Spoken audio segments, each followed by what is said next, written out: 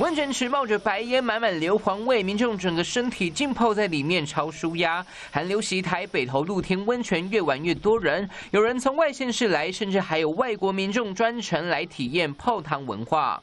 Oh, very very nice. Hot springs, yeah. Never been before.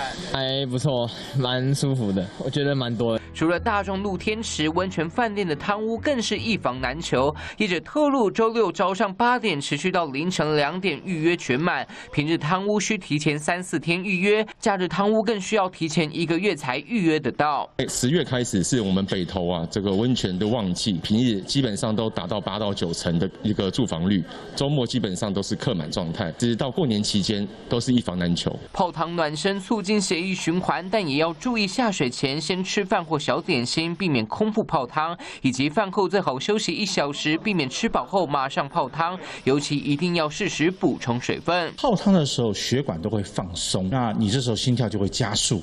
身体的每个组织的需求都会增加。吃太饱泡汤的时候，有时候血液循环一下子没有办法很均匀的去搭配。另外，专家也提醒，泡汤前避免食用麻辣料理或饮酒，以及泡汤后应适量进食补充能量。泡汤放松疏解疲劳，但也要了解注意事项，避免伤身。解王志文、杨宗燕台北报道。